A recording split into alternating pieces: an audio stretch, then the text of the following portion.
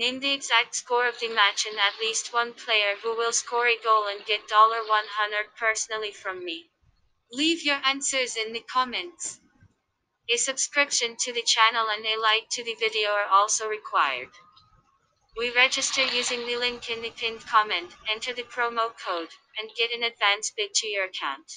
All eyes will be on Stadion Wankdorf when Young Boys and Bayer Leverkusen face each other in the Europa League last 32, first leg. Young Boys are on the right track to win the Swiss Super League trophy, with the team eyeing their sixth consecutive win. The hosts are likely to stick to their attacking style of play against Bayer Leverkusen, but this game will be anything but a walk in the park for Gerardo Seoane's troops. The Bayern outfit, on the other hand, have been scoring goals for fun of late, with the team rolling over Stuttgart 5-2, while playing a 2-2 draw with Mainz.